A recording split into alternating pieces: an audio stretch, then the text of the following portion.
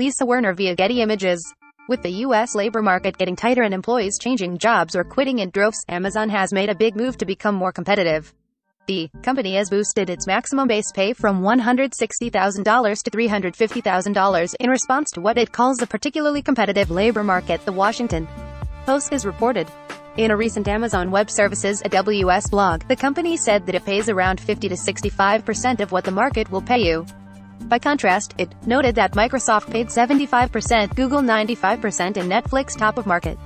Until now, anything more than $160,000 at Amazon was instead compensated by stock or cash signing bonuses. This past year has seen a particularly competitive labor market and in doing a thorough analysis of various options weighing the economics of our business and the need to remain competitive for attracting and retaining top talent, we decided to make meaningfully bigger increases to our compensation levels than we do in a typical year. According to Amazon's own information, the company's maximum base pay is now also at the top market level, or more.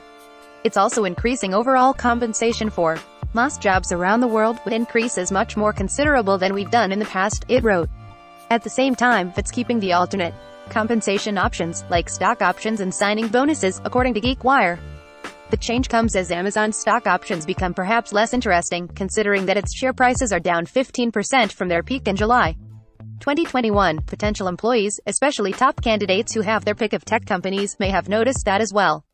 All products recommended by Engadget are selected by our editorial team independent of our parent company.